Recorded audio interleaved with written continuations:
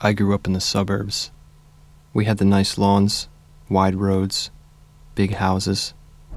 A lot of people think growing up in the suburbs means you're spoiled. Maybe they're right. But spoiled how? And by what?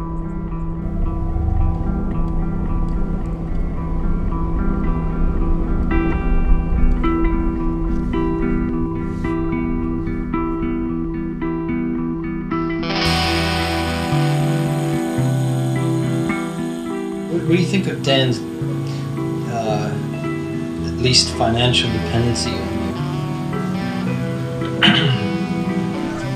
I live with my parents. I, th- I thought I would be you know, somewhere else right now. um, like uh, going through uh, depression and whatnot. I'll change one thing about my life. A parent always will always, always remain open their door to their children, always, to the day they die. This is how everybody should be. Happy.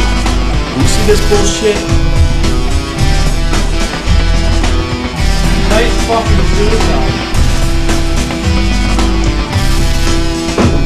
I like to make me and I cannot lie.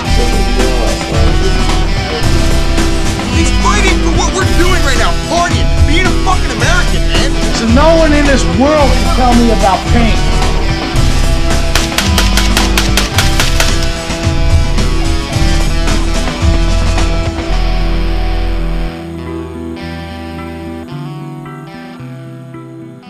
We grew up in the suburbs.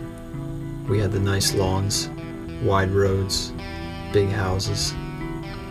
We grew up in a place where growing up isn't really something you have to do.